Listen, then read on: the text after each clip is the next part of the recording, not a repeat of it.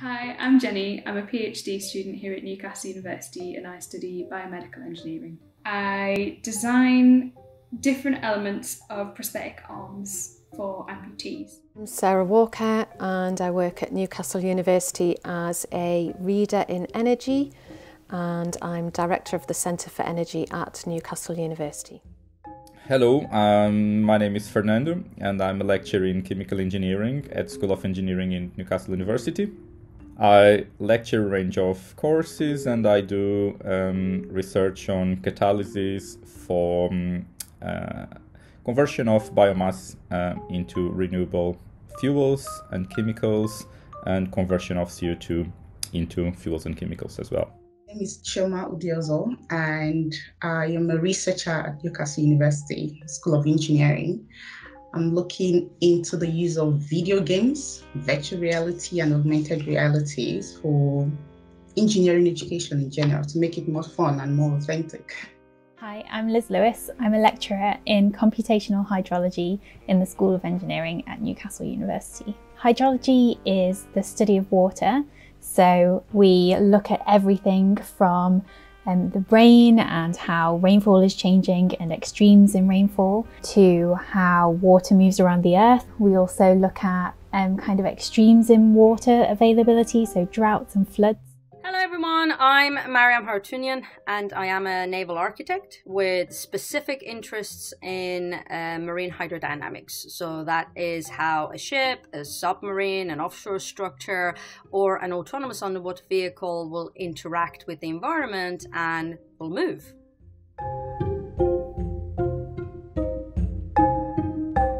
Did you always want to be an engineer and if not, what did you want to do when you were younger? No, I didn't always want to be an engineer. Um, I actually didn't even know what an engineer was until I was about 16, 17. I wanted to be a chemist, I wanted to be a doctor, um, because I wanted to help people mainly. That That's sort of that's what I wanted to do as a job, but I didn't realise that engineers could do that. Um, and it was only once I discovered that like biomedical engineering was a thing when I was like 16 and that you could design things to help people um, in a similar way to doctors do, but from a, like an engineering perspective like i could use the creativity and the math skills that i had and apply that and actually help people. That's sort of what drove me towards engineering. It was actually really like last minute decision. Um, i'd never even considered it before then because i hadn't heard of it. When I was really young, I wanted to be a ballerina, then I wanted to be an artist, then I wanted to be a witch, then um, I wanted to be a computer programmer, and it wasn't till I was doing my O levels that I really fell in love with physics um, and uh, stuck with that as a subject. So I did physics at O level, physics at A level, physics at university, and I'm now applying that physics understanding to the context of energy systems. I first wanted to be an astronaut when I was three, because um, someone offered me a space rocket and I found it pretty cool. and I think then I went through, um, wanted to be an architect and wanted to be a doctor. And then I think when I was about 11, the Indiana Jones movies were very popular, so I wanted to be an archaeologist. And then when I started my chemistry uh, before my GCSEs, when I discovered chemistry at that stage and uh, and turned to the chemical engineering as a profession, and then since then I've been following. I've always wanted to be um, in the science domain, but I wasn't at the beginning. I didn't, didn't know where exactly was going to be. So growing up, at the time I grew up and where I grew up, if you're going to the science field, it has uh, it's the, the, the two you know programs or the two places you would end up is being a doctor or being an engineer and I didn't want to be a doctor. I didn't like biology. I felt it had so much reading to do.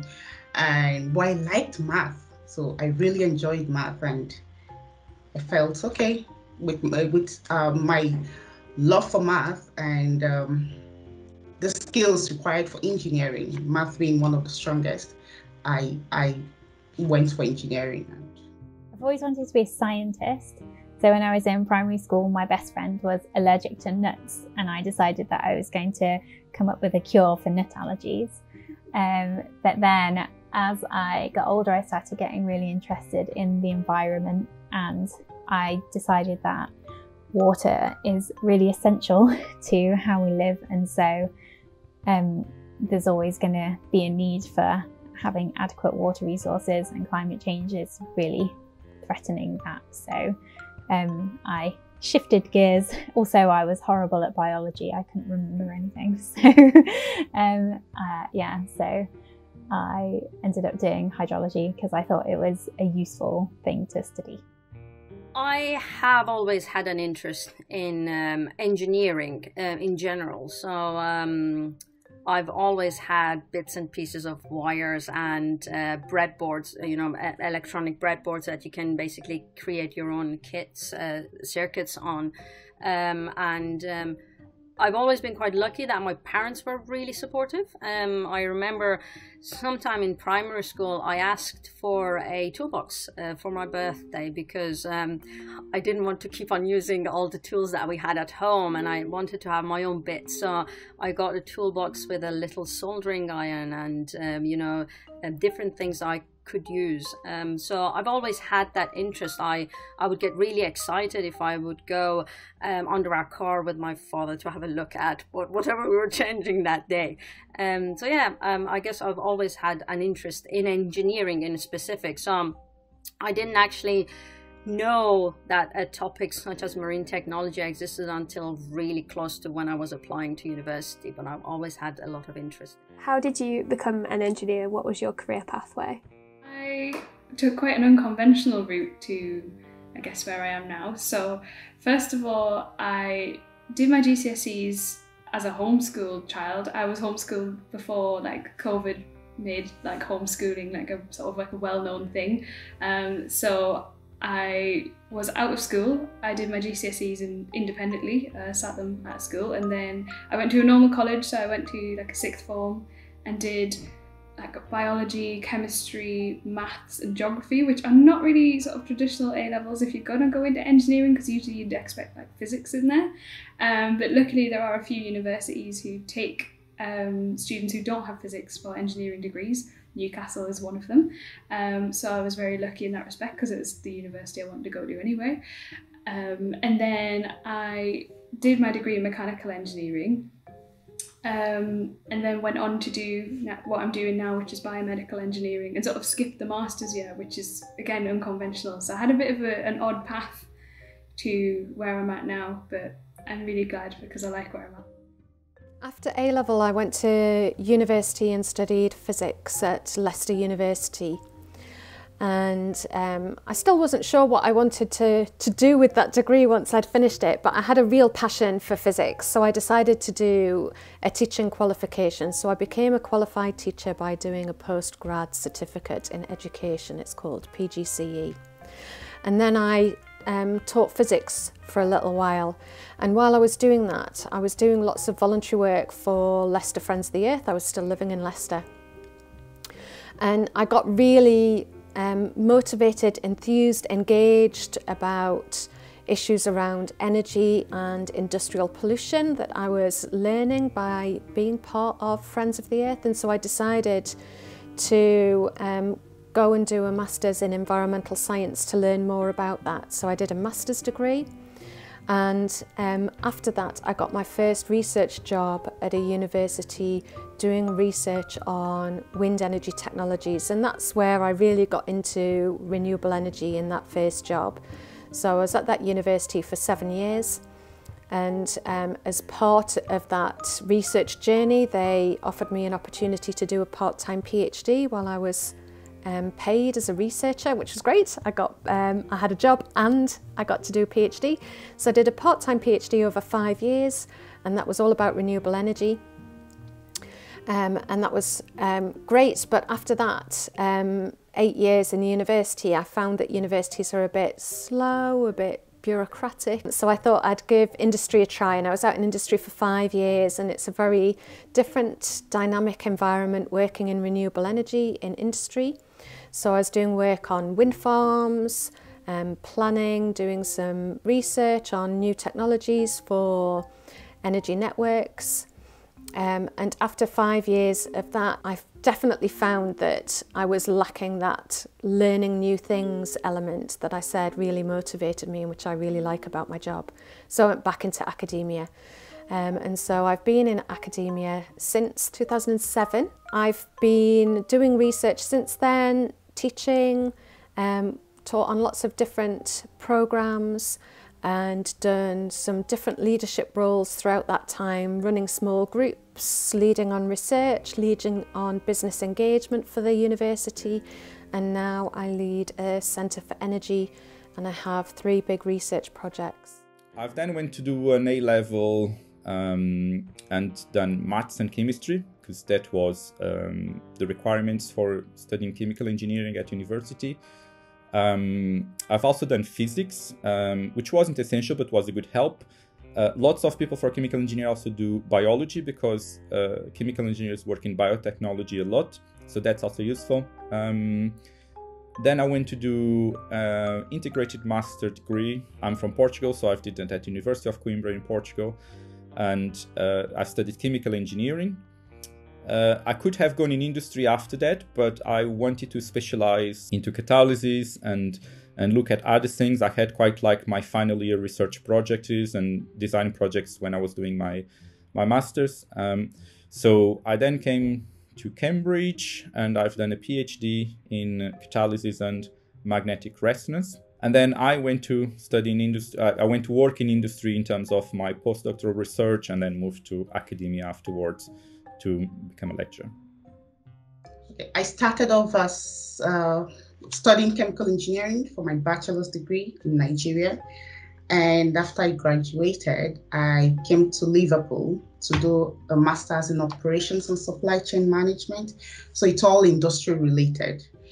And um, after that, I spent two years as a researcher in Istanbul in the field of learning sciences. And that's after that I, I, I ended up at Newcastle University and I've been here for just less than a, less than two years. I um, really liked maths and science at school. I really liked music as well, um, but I thought I wanted to be a scientist. Um, so I did um, lots of science and lots of maths for my A levels.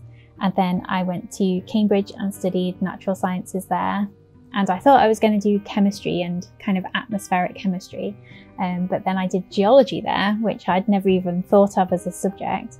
Um, and it was so interesting and so fun and kind of made you look at the world on really different uh, time scales and in a different way. Um, that I ended up kind of doing geology and then that's kind of at university when I decided that I was really interested in doing water.